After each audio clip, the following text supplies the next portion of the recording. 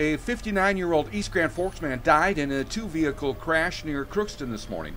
The victim's name is Gregory Ronald Driscoll. It happened around 3:30 this morning at the intersection of Highway 2 and Highway 75 bypass road on the northwest side of Crookston. The state patrol says Driscoll was killed while driving his car northbound on Highway 75 and failed to yield at an intersection for an eastbound Freightliner semi.